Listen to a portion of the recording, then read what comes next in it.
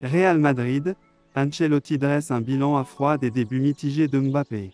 Carlo Ancelotti reste serein quant à l'adaptation de Kylian Mbappé au Real Madrid, malgré le fait que l'attaquant n'ait pas encore trouvé le chemin filets lors de ses deux premiers matchs en Liga. Alors que certains observateurs en Espagne s'inquiètent du manque de réalisme de l'équipe, Ancelotti s'est montré rassurant en conférence de presse, avec Mbappé, Vinicius et nos atouts, marquer ne sera jamais un problème.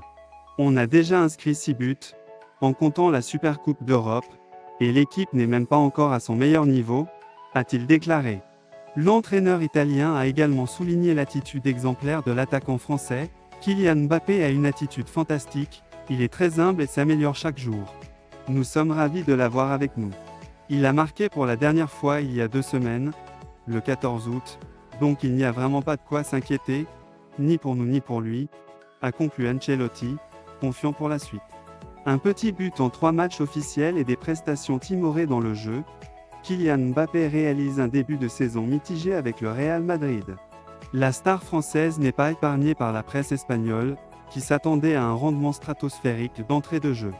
Mais si Kylian Mbappé court encore après sa meilleure forme, l'attitude du capitaine des Bleus serait irréprochable.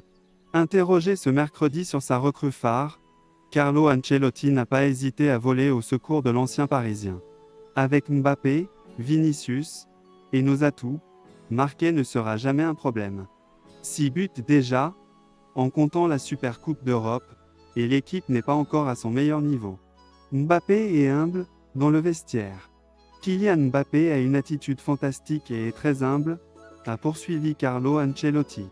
Il s'améliore de jour en jour et nous sommes très heureux de lui. Je crois que la dernière fois qu'il a marqué, c'était le 14 août. C'était il y a seulement deux semaines, nous ne sommes pas inquiets et il ne l'est pas non plus. Une sortie publique qui ne devrait pas laisser Kylian Mbappé insensible. Le prodiant de Bondy aura l'occasion de faire taire des détracteurs jeudi soir, pour le match du Real Madrid contre Las Palmas, comptant pour la troisième journée de la Liga, 21h30.